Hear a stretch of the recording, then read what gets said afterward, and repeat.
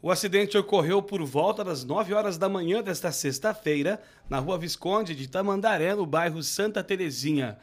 O motociclista William Rafael Matei acabou sofrendo uma queda desta moto bis nesta lombada. Ele precisou ser atendido por esta equipe do SAMU, que foi acionada para o local. William sofreu diversas escoriações pelo corpo devido à queda no asfalto. Moradores e empresários do local estão preocupados com o número de acidentes nesta região. Carlos afirma que foi a terceira queda de moto que ocorreu depois da instalação desta lombada. Felizmente não aconteceu nada de, de grave, né? gravíssimo. Mas motor já, né?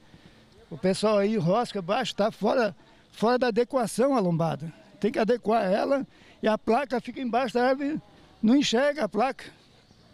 Então eles têm que vir aqui resolver por essa placa mais visível, que ela fica numa sombra, e adequar essa lombada, senão vai ter morte aqui. Eu já falei para o pessoal e conversei com eles, mas infelizmente aí, até agora não vieram ver.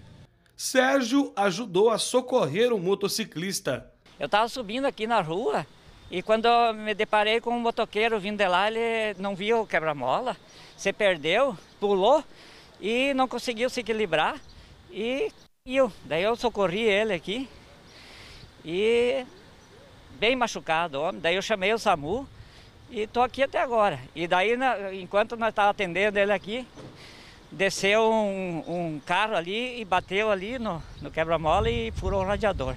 Tá bem difícil esse quebra-mola aqui. Depois de receber o primeiro atendimento no local, o motociclista foi imobilizado e encaminhado para a UPA.